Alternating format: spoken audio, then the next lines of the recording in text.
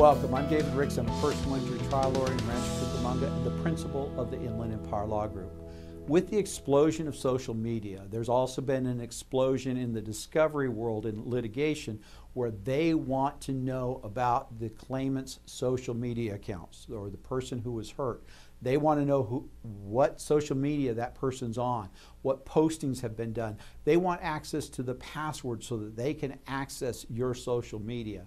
So be aware that if you've been involved in an accident, the other side is going to be looking for reasons not to give you money, not to award you damages, because they're going to try to find inconsistencies with what you say in, one, in one instance and what you're doing in another instance. If you say you're, you can't swim, then you better be aware that you're going to be watched to see if you're swimming.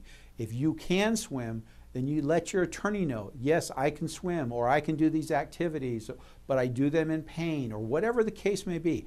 Be honest with your attorney, but limit your social media activity after an accident until you've spoken with your attorney and you've let your attorney know that this is what you were doing before, this is what you're doing now.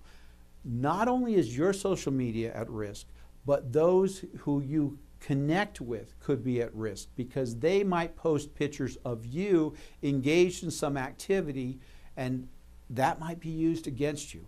So, again, if you've been involved in an accident, stop your social media right then and there until you speak with an attorney and find out what you can do to protect yourself.